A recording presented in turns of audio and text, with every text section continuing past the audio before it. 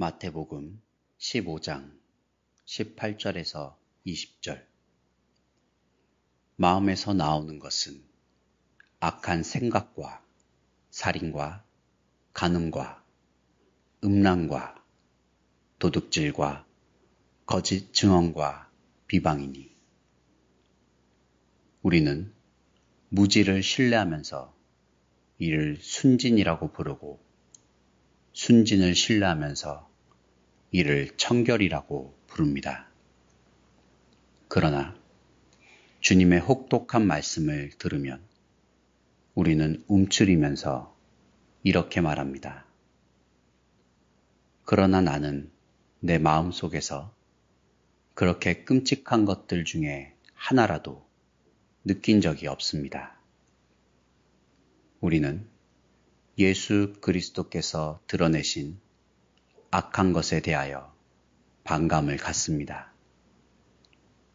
여기서 당신은 예수 그리스도를 인간의 심리의 최고 권위자로 인정하던지 아니면 그분 말에는 조금도 신경 쓸 필요가 없다고 여기던지 해야 합니다.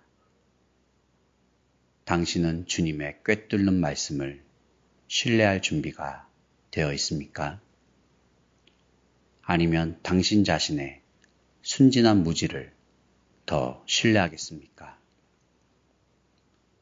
자신을 순진하다고 생각하는 그 의식을 시험대에 올려놓고 테스트해 보십시오. 그러면 당신은 예수님께서 하신 말씀이 옳다는 것을 깨닫고 떨게 될 것입니다. 내 안에 악과 허물의 가능성을 보며 놀라게 될 것입니다. 사람들은 순진이라는 피난처 아래에 머물면서 자신들이 어리석은 자의 낙원에 살고 있다는 사실을 모릅니다. 당신이 아직 자신이 악당이라는 사실을 체험해 보지 못했다면 이는 당신이 겁이 많은 소심한 사람이거나 혹은 교양이라는 것 때문에 당신의 악함이 감추어져 있는 것입니다. 그러나 하나님 앞에서 벌거벗은 듯이 서게 될 때 당신은 예수 그리스도께서 인간들을 향하여 내리신 진단이 옳다는 사실을 발견하게 될 것입니다. 우리가 유일하게 피할 수 있는 곳은 예수 그리스도의 구속입니다.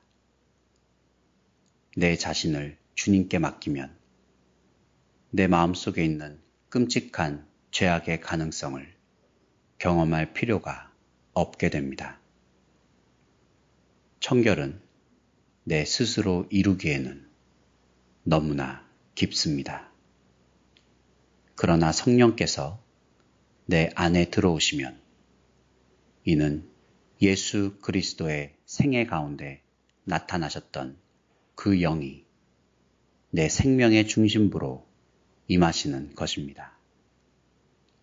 그 영은 더러움이 전혀 없는 청결한 영이십니다.